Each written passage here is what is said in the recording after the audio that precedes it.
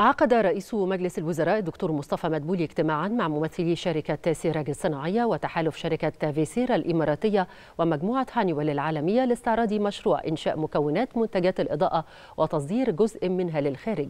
بالمنطقة الاقتصادية لقناة السويس. وذلك باستثمارات تبلغ 15 مليون دولار. وفي مستهل الاجتماع أكد رئيس الوزراء أن الحكومة المصرية تولي أهمية قصوى لتوطين مكونات الصناعات المختلفة بالتوازي مع زيادة الصادرات من هذه المكونات المصنعة محليا.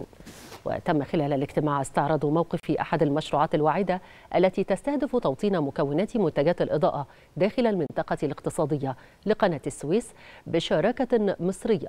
مع تحالف عالمي مكون من شركة هانيويل العالمية وفيسارا الإماراتية.